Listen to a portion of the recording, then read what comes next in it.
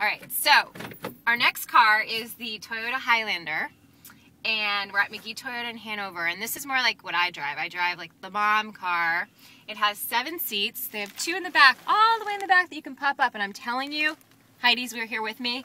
You use this. You use the seven seats. You never think you're ever going to use seven seats in a car, but when my parents come and visit, we can all fit in. It's awesome. You can bring the stroller, all the stuff you need, your diaper bags, and you're ready to go. So I think I know how to drive this car.